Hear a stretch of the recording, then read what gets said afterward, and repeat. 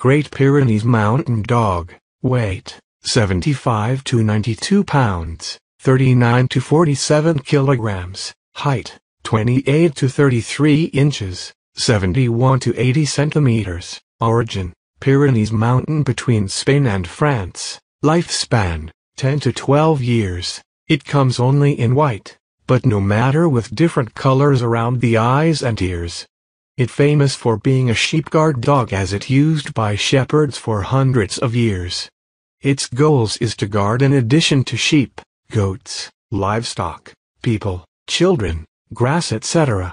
It is a nice dog which has amazing beauty and gorgeous coat and up to a height of 81 centimeters and weighs 50 kilograms. It has the spirit of self-confidence and loving little animals. It admires its owner very much.